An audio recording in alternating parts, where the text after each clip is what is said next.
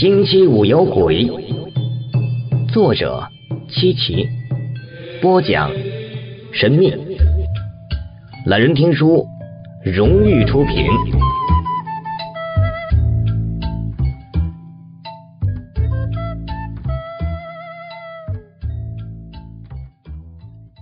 第五十六集，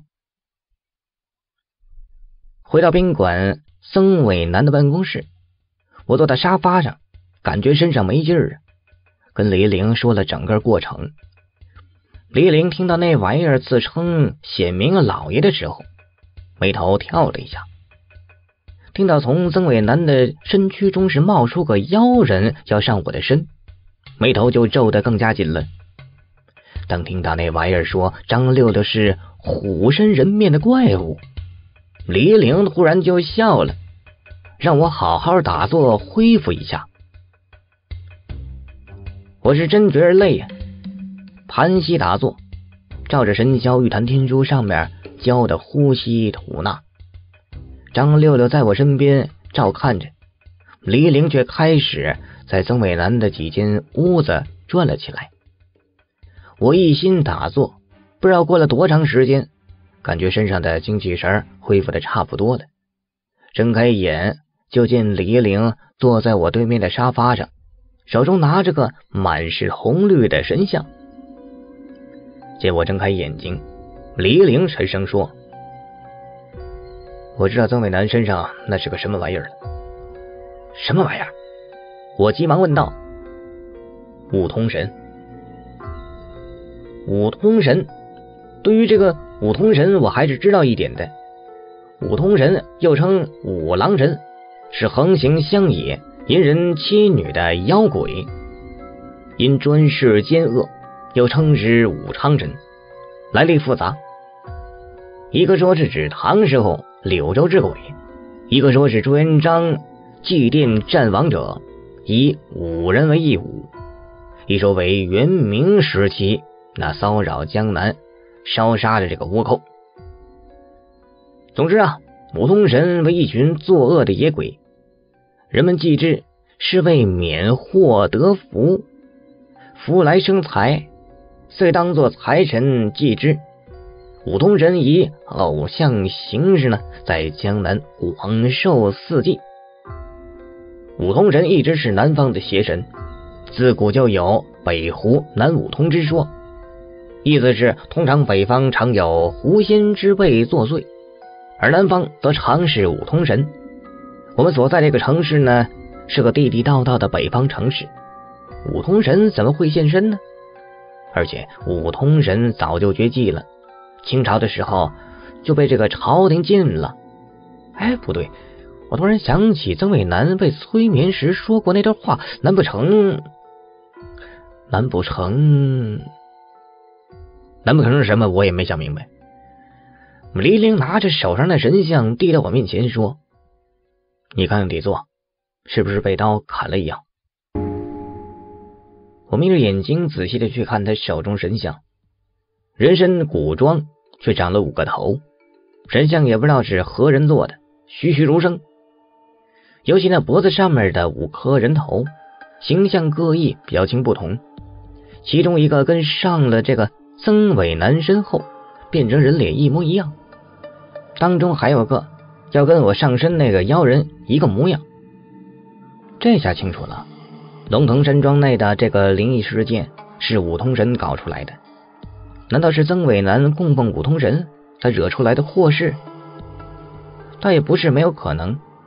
过去江南一带，五通神很多时候是被当做财神供奉啊。五通神既可祸福于人，亦能够预测凶吉，积散钱财。明清时候，许多盐商家里供奉就是五通神。不过，供奉五通神要比供奉一般的神灵要麻烦的多，要用肉食供奉，定下契约。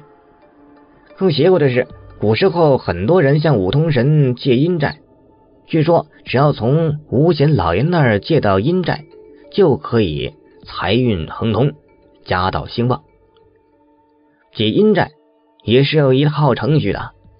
一名巫婆焚香叩神壁，有两名巫婆挟持着，啊，疾驰下山，名叫跑马，至山下点燃灯烛处，巫婆哈气一伸，眼皮一翻，故作癫痫，梧桐老爷上身了。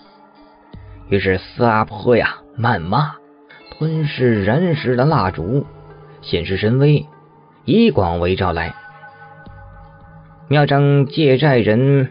那是四地供奉着香烛、钱粮、元宝或贡品，上殿顶礼膜拜莫倒，师娘在旁开条件，要求接受，然后呢，借户取下供桌上的四只银质小元宝，带回家中放在家堂内，隔几天看，若不走样，则以蒙借得；若是发现元宝已经是瘪掉了。说明是没借到，或者采用求签法，求得上签，中签者表示已借到，得下签者则借而未得。借了阴债之后，每月初一、月万都要在家呢焚香烧纸；每年的八月十七日还必须去烧香解钱粮，以此还本付息。上本人死了，子孙呢还需继续还债清偿。我突然想起那老犊子跟我那套词儿说那话呀，我附在这个小子身上，便是阎王老子来了也说不出我什么来。曾伟南管五通神借了阴债吗？如果不是曾伟南借的阴债。家里怎么会有五通神的神像？五通神干嘛缠上他？反正跟曾伟南是脱不了关系。我琢磨着跟雷凌说这个想法。雷凌看了一眼艾琳娜，嘴角露出那种嘲讽的笑容。我特讨厌他这样啊！一大老爷们没事撇什么嘴角啊？你还能够撇成菊花吗？浪总，你觉得曾伟南这样的家世？用着请邪神吗？别忘了，武通神是早就绝迹的邪神，你们都只是知道一点，他能知道吗？说完，又看了一眼艾琳娜，我立刻就明白他什么意思了。艾琳娜和曾伟南是一个圈子里的人，从小就认识，不用说，都是条件老好了。上贵族学校那些人啊，这些人眼界都是老高了，以精英自居。压根就不相信神神鬼鬼的事，也接触不到，更不要说早就绝迹了的五通神借阴债这种玄乎事。可曾伟南被催眠的时候，说看到了自己从湖水里捞出那神像是怎么回事？而且神像可就在他家呀！要说没有点关系，那也不可能。到底是个怎么回事？我想了半天也没想明白，脑子还是不够使啊！沉默了会儿，我看着李玲手中神像说：“哎，小哥，既然找到五通神的神像了，也就找到了祸乱的根源啊。呃，是不是封了神像就没事了？”李玲悠然的伸出手指弹了一下神像，发出清脆的当的一声响，说：“五通神上了曾伟南的身，就剩下了空壳子，封了也不起作用。砸他！”烧了！我看这玩意儿闹心。神像实在是做的十分逼真，五个人头朝着五个方向，面容阴邪，栩栩如生，看着就让人十分的不舒服呀。李陵摇摇头，神像是封印五通神的关键，毁了神像，曾伟南身上的五通神就没地方去了。只有把曾伟南身上这个五通神逼回这神像里面，才能够封印呢。李玲这么说，肯定有他道理。我突然想到一个关键，就问小哥：“五通神附身在曾伟南身上，也就是说，他身上有五个邪神呢？”李玲沉默着点点头，我却愣了一下。邪物上身，要说驱赶也好驱赶，红筷子夹中指，符箓做法都能赶走附在人身上的邪物。可曾伟南身上那五通神却不一般。乃是邪人，虽说是邪人，也是在江南被祭祀了千百年的邪神，比一般的恶鬼厉害多了，而且还有五个，该怎么逼出去？想到这儿，我就头疼了。驱赶上身的恶鬼就不是那么容易，得近身制服了才能进行驱赶。掰中指也只能是用一次，要是连掰五次，手指头还不掰断了？何况管不管用还不知道呢。曾伟南上身这五个邪神，活动的办法够呛，那得需要做法符箓，消耗精气神。可赶走一个还有一个，再赶走一个还有一个。连赶五个累也累死了，小哥，有什么好办法没有？一下子能够震慑住这五通神？李陵摇头，被人祭祀了千百年的邪神，神通很大，能够借阴债给百姓，可想而知。哎，不对，如果五通神早就现身，不该只有这点本事。被六六这个。这个他什么都没说，继续道：“三五拳的就给收拾了，这不科学。”我靠，五通邪神都整出来了，你还跟我讲科学呢？我真是被李陵打败了，忍不住翻了白眼儿。只见李陵举起神像，用鼻子闻了闻，又摸了摸神像，突然说：“五通神刚被放出来没多久，之前一定是压制住了。”否则不会如此不济。什么意思？你你说详细点行吗？我急忙问道。李陵举着神像说：“神像上面有土腥气，身上的铜锈也厚，证明刚出土。怪不得曾伟南白天还能恢复神智。要是我预料的不错，神像出现的时间不会超过半个月。”艾莲娜突然道：“没错。”山庄就是半个月前开始出现怪事的，可曾伟南并没有收集古董习惯呢。他收集都是艺术品，而且只对西方艺术品感兴趣，不可能收藏这么一件看上去稀奇古怪的神像啊！我已经完全糊涂了，根本没办法去把这些线索集中到一起，事情显得是越来越复杂。想了又想，突然就明白了，我们不是来探索的。也不是写悬疑小说的，我们要做的就是解决这曾伟南被武东神上身这件事情，再拍摄下来。至于背后有什么猫腻，能知道最好，不能知道也没什么。总之，解决事情呢才是唯一的解脱之道。我忍不住开口说：“你们俩别瞎琢磨了，越琢磨脑子越乱。这些前前后后的为什么，以后有时间呢去想啊。”现在要紧的是找到曾伟南，驱赶出他身上的五通神。小哥，找到曾伟南只是时间问题，毕竟他就在山庄里。可问题是找到后怎么办？怎么才能一下子制服他，驱赶出他身上的五通神封印住啊？有什么好办法没有？李陵深吸了口气，浪总说的对，必须要尽快的找到曾伟南。五通神在这身上待的越久。神通恢复的就越多，不要说恢复全部神通了，哪怕恢复一半神通，恐怕就没有人能够制服了五通神了。李陵说的很严重，我却有些不服气。五通神那么牛逼，还是被那清朝官员一刀给劈了。哎，你说那清朝官员是不是有道行啊？他使的什么门法？咱们能不能用？李陵露出那嘲讽的笑容，说。真武通神的是汤斌，顺治、康熙年间的名臣。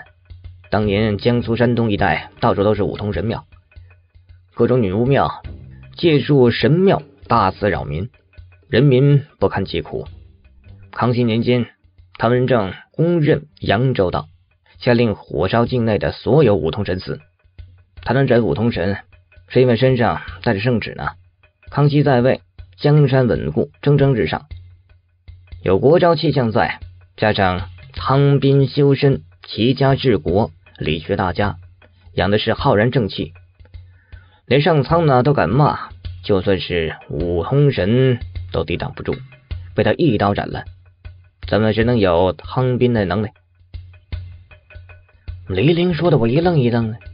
丫从小跟着阴阳先生长大，连小学都没上，还知道这些事儿，连哥们都不知道好不好？实在忍不住就问了：“你懂得还挺多，你咋知道那么多呢？”我手机是三 G 的。李玲没头没脑的回我一句：“呃，啥意思？”我傻乎乎问了一句：“能上网查的呗。”曾伟南被催眠说他看到了清朝官员，还有无限灵顺庙，我就上网查了查。张总，多动动脑子没坏处，你老不用，时间长了就跟那豆腐脑似的。我被他噎得直翻白眼，竟然无话可说。艾琳娜见我被雷凌噎得说不出来话，扑哧笑出声来了。我这叫一尴尬，拿出手机来搜索一下，历史上还真有这样的事。而且汤斌汤大人也真是个人物，生活简朴，为世人所称。汤斌任职期间，鱼肉荤腥皆不入衙署，每日只买三块豆腐做菜肴，人称豆腐汤。他的一生恭顺。所到之处，体恤民难，必觉风清，正气斐然，被朝廷啊是尊为理学名臣。汤斌的主要政绩在康熙朝，官至内阁学士、江宁巡抚、礼部尚书等。汤斌为官一生，除著书立说、发展理学学说外，有一年多的精力都集中到了河务和漕运的理智上。为百姓减轻负担、赈灾救失，是心力除害，从而始终躬身实践儒家的修身齐家治国平天下的民本思想。哎呀，看完手机上的资料，我就呲牙了。汤斌就算是名臣，也是一普通人呢，不是三头六臂，他能干的事情，咱们几个就干不了。哎，哥们不是吹啊！打小就正直善良，身上最不缺的就是浩然正气。我正吹的 happy 呢，李玲一瞪眼：“你再吹，等找到了曾伟南，你就一个人动手吧，反正一身的浩然正气。”我嘿嘿一笑问：“哎哎，就算我不成，咱们都不成，除了浩然正气能够治武通神，别的气不行？”李玲指了指我。你呀一身傻气，又指指张六六，他一身愣气；再指指艾琳娜，这位一身傲气。我指指李玲，你呀一身邪气。啊，好吧，我明白你的意思啊，咱们几个都不成。可既然杨斌能行，咱们也得找一个一身浩然正气的当个官的啊，直接来收拾这五通神不就行了吗？李玲叹了口气，现在当官的。然后修身齐家治国，身上还有浩然正气吗？还不如啊你那一身傻气呢。然后我一琢磨也对，何况咱一个小市民也不认识这达官显贵啊。刚要跟李玲商量一下该用什么符箓合适，突然我怀中的黄符微微发热，这种情况以前从来没发生过。我急忙伸手去摸黄符。黄符竟然微微冒着热气，紧接着屋子里的顶灯开始猛烈闪烁，哧哧啦啦，十分惊人。与此同时，我感觉身后的寒气铺天盖地的涌了过来。李玲突然脸色大变，猛地站起来，对我们三个就喊：“不好，外面来一个更猛的！”李玲话一出口，我是悚然一惊，五神通已经够邪乎的。他口中更猛的是个什么东西呀？忍不住回头看，这瞬间满屋子灯泡噼里啪啦，全部瞬间爆裂！啊的一声啊，艾琳娜尖叫起来，夹杂雷凌的咒语声：武汉天地，咒毒杀鬼方，咒金金自消，咒木木自折，咒水水自竭，咒火火自灭，咒山山自崩，咒石石自裂，咒神神自树。咒鬼鬼自杀，咒道道自断，咒庸庸自绝，咒毒毒自散，咒诅诅自灭。这个咒叫做禁咒，是一种以人体真气配合着符箓禁制鬼神的强制性的这个咒语。念出这样的咒语，说明我们遇到了很强大的邪恶之物。我急忙从沙发上起来，站在安琳娜的身边，伸手去掏怀中的黄符。手一碰到黄符，就感觉有点烫啊！拽出来已经是不再是完整的黄符了，而是一溜火光。黄符没等施展念咒。竟然自燃了，实在是超乎想象。